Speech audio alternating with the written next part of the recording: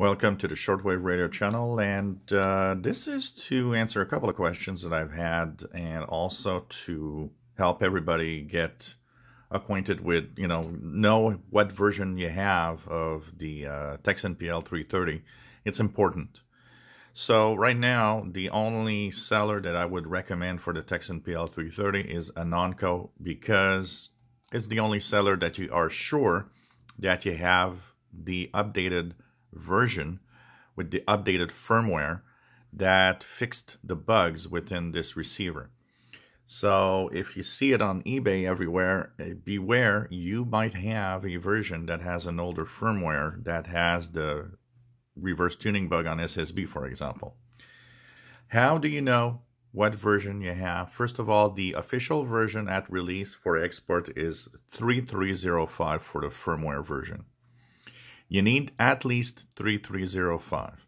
I'm sure as time goes by, maybe there will be upgrades and there will be even um, different firmware versions in, in a year or two. But for now, 3305 is the correct version you need for the Tecsun PL330. So if you have purchased one, if you're not sure, if you want to just verify, do I have the correct firmware? So this one is the Chinese version. My firmware has the, of course, the SSB a reverse tuning SSB bug. But if you want to know what version you have, you have a button here called VFVM. With the radio off, you press and hold until all the segments in the display will be lit. And then you let go. When you let go, give it a little bit of time. On the upper right, you will see a number. That's the firmware version. 3303 is my firmware version, just before the clock gets back. So that's how you verify your firmware version. Like I said, you should be at 3305 or later. If you are not at 3305, you probably have the Chinese buggy version of the radio. And of course, there's no harm if you buy it from anyone else than Anonco. Do ask if the firmware version is 3305. If they tell you a lower number, don't buy it. You have a buggy version. That's very important. The bugs are not that crazy, but they could be annoying, and you know, you want to have the correct version, honestly.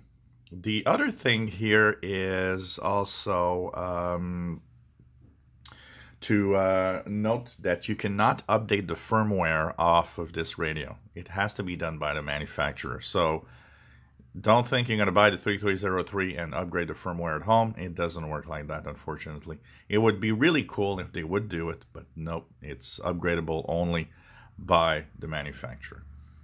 So uh, that's the thing to know about the Tecsun PL330. Once again, want to know the firmware? Simply VFVM. You press and hold until all the segments and wait for the number to appear on the upper right. Like I said, you should be at 3305. I'm at 3303 as you see here just before the clock appears again. If you enjoy my videos, please subscribe, give us thumbs up, and thank you for watching.